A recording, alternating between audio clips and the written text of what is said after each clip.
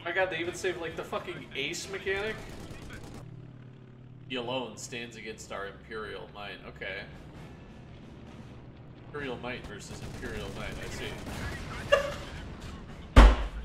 That's one way to take down an ace!